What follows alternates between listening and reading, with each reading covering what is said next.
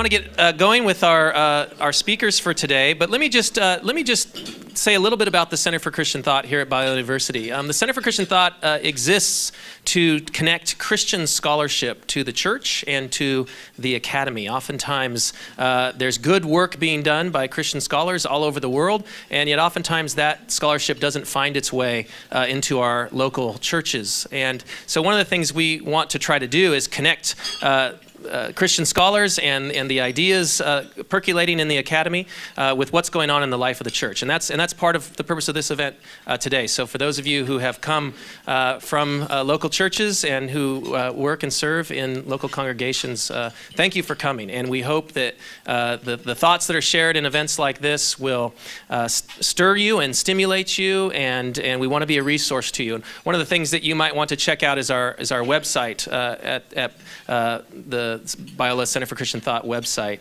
uh, because on that website we house a lot of videos and uh, various other resources that are really intended to uh, try to uh, bring, again, uh, leading scholarly ideas and, and, put them in formats that, that are accessible and understandable that would be of importance to you and your, your ministry work. Last year our theme was neuroscience and the soul, so we have a whole slew of stuff up on our website about neuroscience and the soul and the role of the brain in, in change um, and various other topics like that. This year, our theme is uh, psychology and spiritual formation. So we're focusing together on um, what, what insights uh, does uh, psychological theory and practice have on the way of spiritual transformation uh, in Christ. And uh, so if you come up to the center space, which you are welcome to do at some point in time, maybe later today if you, if you can, that wasn't an official announcement, so I probably wasn't supposed to invite you up, but you can. If you come up to the center space, what you'll find is you'll find a lot of nice offices and a big uh, table in the middle. And what we do is uh, we, we bring uh, visiting scholars from other universities to spend up to a semester, uh, sometimes up to a year here at Biola University as, as scholars in residence. And then we also release uh, Biola faculty from some of their teaching, so they join the, the group of fellows around the round table. And we gather together on a, on a weekly basis to discuss uh, each other's work and, and, um, and the, the topics under uh, consideration. And, and again, this, this semester and next semester, our theme is psychology and spiritual formation, uh, which uh, leads me to um, our speakers for today, who are two uh, folks who are coming to visit with our fellows, and we also wanted to bring them uh, to you, Dr. James Houston and Dr. Bruce Hindmarsh. Before I introduce them, though, let me mention that if you haven't heard already, tonight, Dr. Hindmarsh Hindmarsh and Houston will be uh, here on campus delivering a public lecture in Calvary Chapel at 7 p.m. entitled Past Watchful Dragons Learning Spiritual Formation uh, from C.S. Lewis. And, and the interesting note about that is uh, Dr. Houston uh, knew C.S. Lewis, so um, he's going to be um, giving some uh, anecdotes from his own experience with Lewis, and uh, Dr. Hindmarsh will um, be interviewing him largely in that time. So that should be a very um, informative and interesting event. So if you're not able to make it, please uh, pass the word on to others.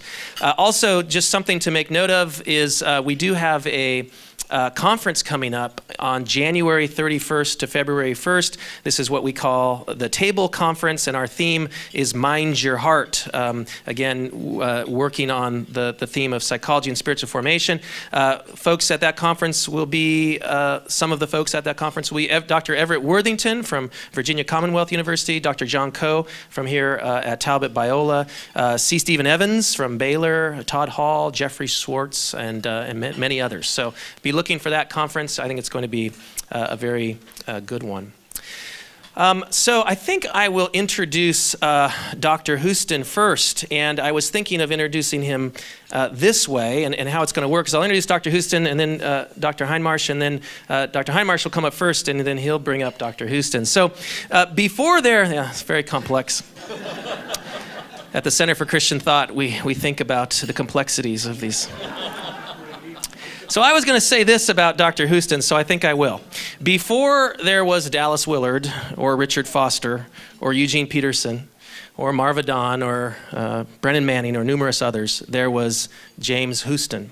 And that's not just to say that Jim was born before all those people. That's true, I think, as well. But, but Jim has been talking about the need and nature of spiritual formation within the evangelical context for a long, long time, and long before many others uh, had, had picked up on that theme. And uh, uh, Bruce was mentioning that Jim has been a bit of a prophet in, in many categories, or I think that was my term, so I won't put the prophet term on you, but, but uh, a bit of a prophet in many categories. And certainly he was uh, seeing the need for a deeper uh, spirituality, particularly in the conservative Christian church, uh, many decades ago. When I was a student here at Talbot in the 1990s, there was a group of us, some of them are here today, who got together and, and we decided we wanted to hear more about this, uh, these new ideas in spiritual formation.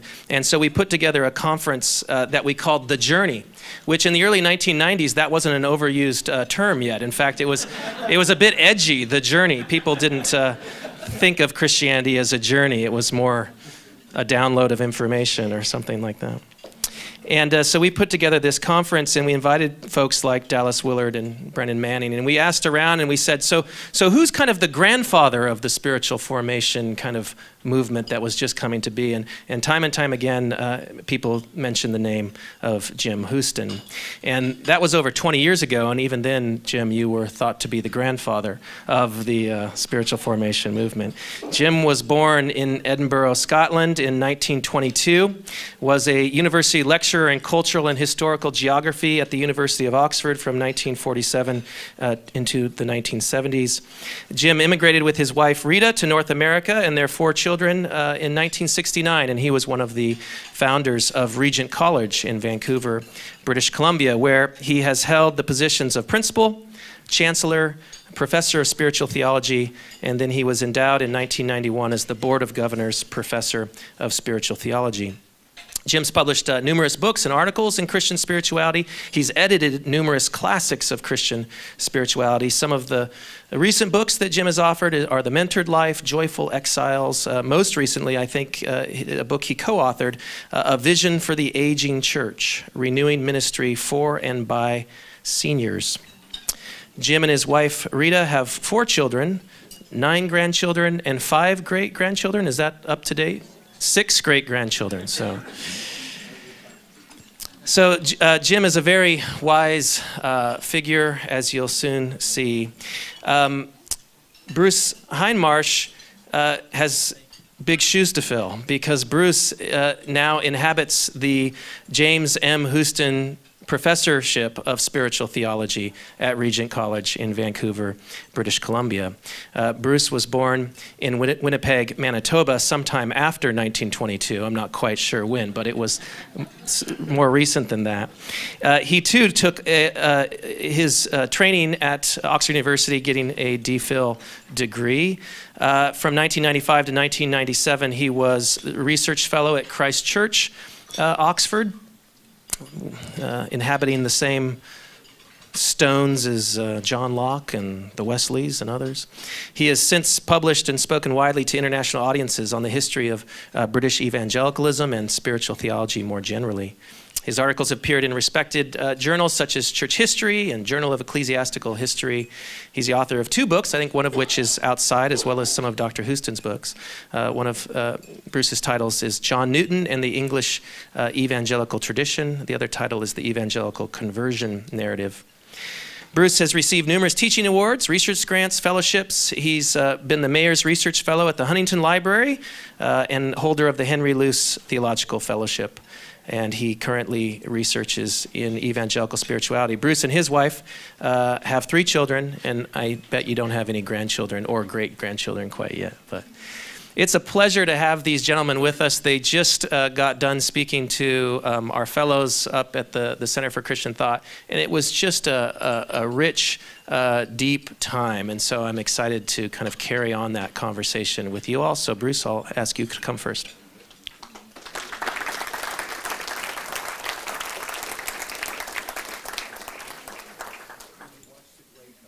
Thank you. Yes, I did.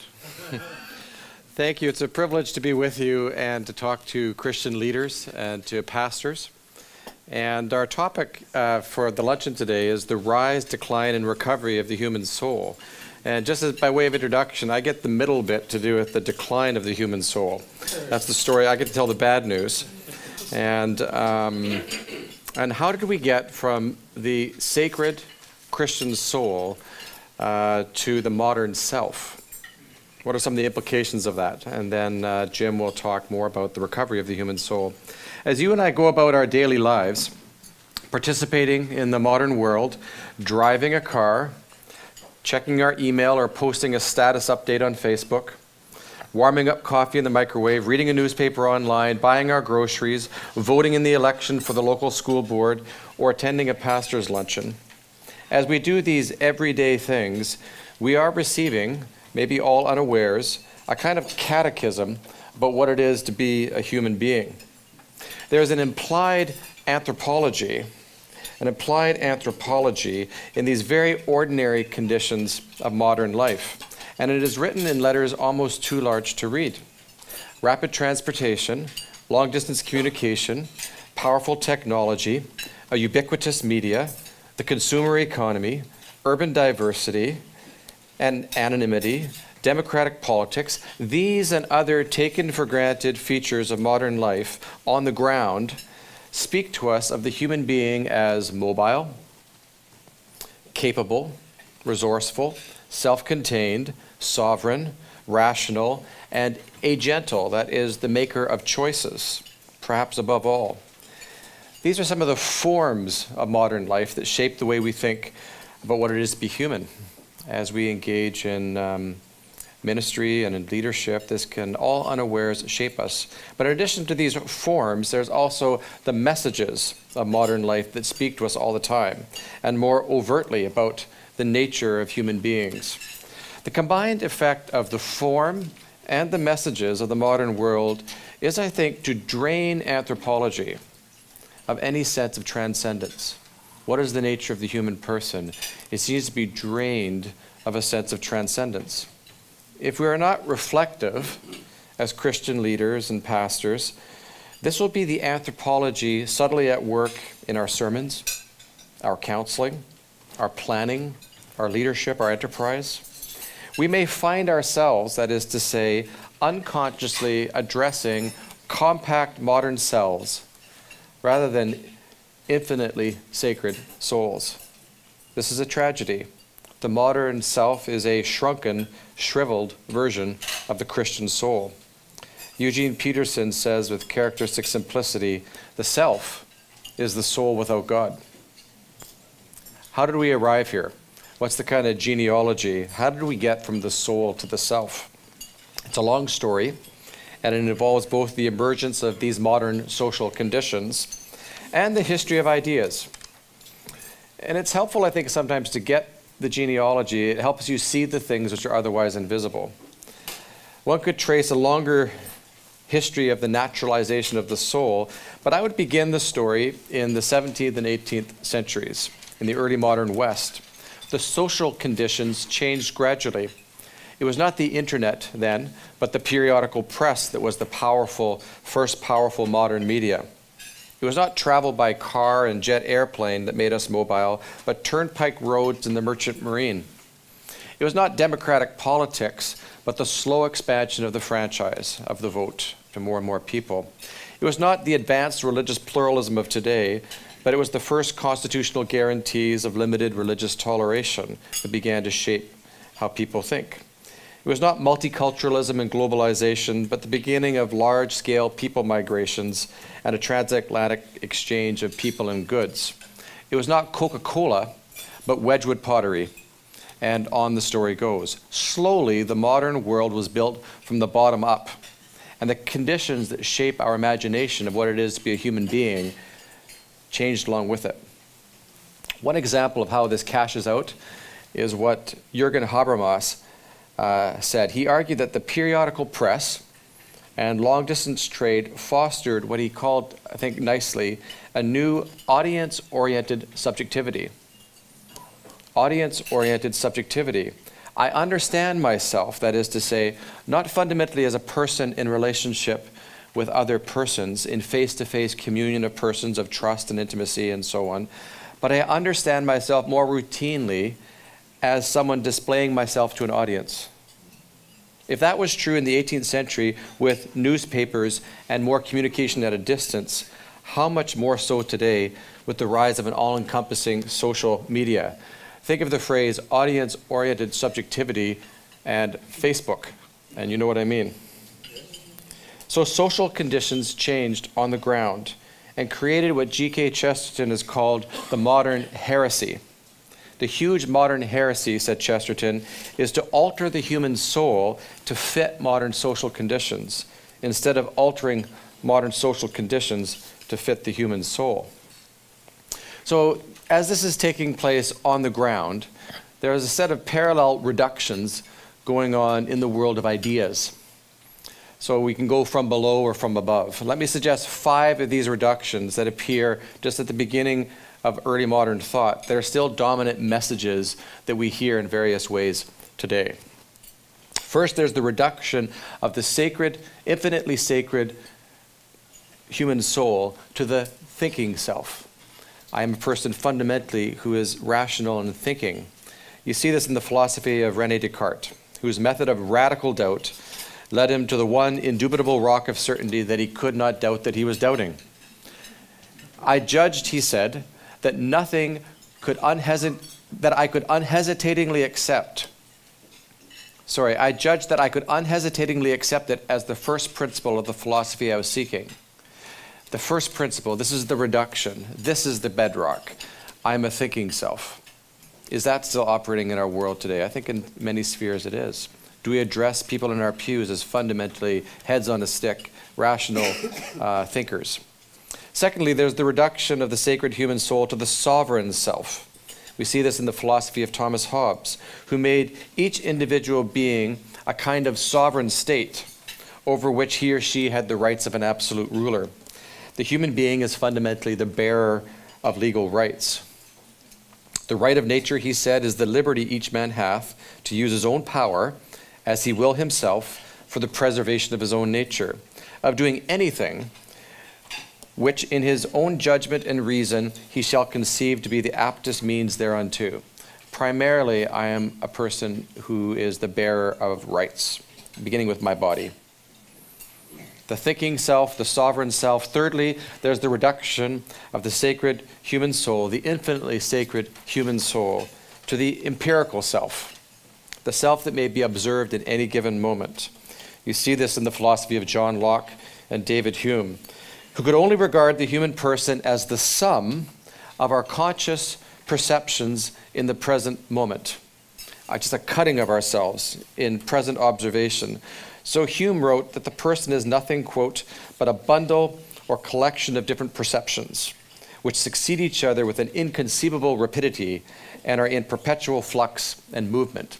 It's like the later philosopher William James talking about perception as a blooming, buzzing confusion, just a bundled self, an empirical self. Fourthly, there's the reduction of the sacred human soul, the infinitely sacred human soul, to the choosing self. You see this in the philosophy of Francis Hutcheson and the Third Earl of Shaftesbury, who conceived of the human person as fundamentally the one who makes moral choices, who acts on the world through the power of individual choice and private judgment. Hutcheson said, He acts reasonably who considers various actions in his power, forms true opinions of their tendency, and chooses to do that which will obtain the highest degree of that to which the instincts of his nature incline him. I am fundamentally an agent, fundamentally the one who makes choices. And fifthly, and related to this, is the last reduction of the sacred human soul to the economic self in the philosophy of Adam Smith, for whom the human person was fundamentally self interested, seeking to advance his or her material condition through rational economic calculation. Just in preparation for Black Friday. it is not, he says, from the benevolence of the butcher, the brewer, or the baker that we expect our dinner it's not because they're fundamentally gifting us with something, but we get our dinner from their regard to their own interest in trade. We address ourselves not to their humanity, but to their self love.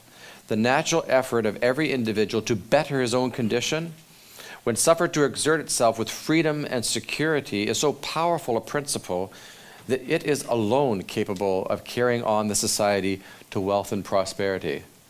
There's just five little cuttings from intellectual history that give you a sense of this reduction of the soul to the self.